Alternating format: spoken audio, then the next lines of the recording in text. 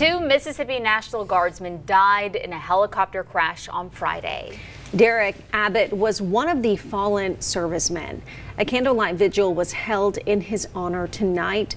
Our Sammy Roebuck was there at the vigil and she joins us now live in the studio to tell us more about the event and what it meant to the community. Sammy. This event meant everyone to those who loved Derek Abbott. Dozens of people came out to share their support and to mourn. If I was on the side of the road with a flat tire, you know, call Derek. If you're across the country and stranded without a car key now because your car key got stole, call Derek. Hugs, candles, and sweet sentiments surrounded Wednesday night's vigil. It was all for Chief Warrant Officer 4 Derek Abbott. We always knew that he was our hero, but I guess we didn't realize just how many people absolutely loved him and considered him family. Caitlin Chilcote is a family friend. The Abbotts welcomed her into their home when she was just a teenager. She spent every holiday with them since. Being at the house and how many people stopped by and, you know, called and the visitors. It's just been overwhelming just seeing how many lives he truly did touch. The evening was filled with people whose lives were touched by Abbott.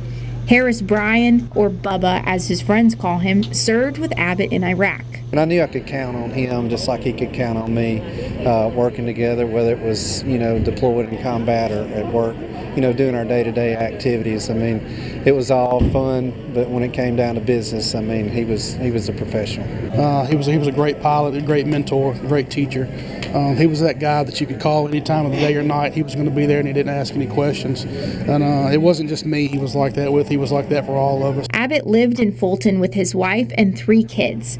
Mayor Emily Quinn is friends with his wife Brandy. She told me everybody loved him. I've never heard one person say anything negative about him. And you know, if I had to sum him up into three or four words, you know, it, he loved his his God, he loved his wife, he loved his kids, he um, loved his community, and he definitely loved his nation. So you might have noticed this candle behind me. I noticed this while I was just taping for this story and I thought I should get a shot of this candle. And then someone came up to me and they said, wow, that this is the candle that Brandy, his wife, lit tonight. And you just can't help but notice the two flames right here. And this one had fallen through the candle onto the ground. Multiple people said that it just happens to symbolize him being there with her tonight. Of course, a meaningful evening for everyone who loves him. Live in the studio, Sammy Roebuck, WTVA 9 News.